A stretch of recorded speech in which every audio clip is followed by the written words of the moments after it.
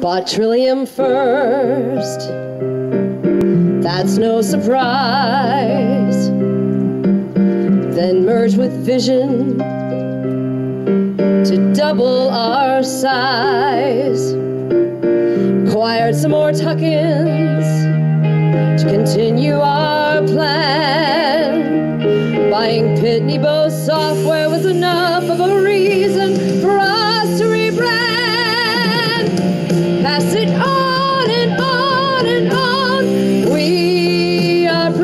precisely, my friends, enriching your data to the end.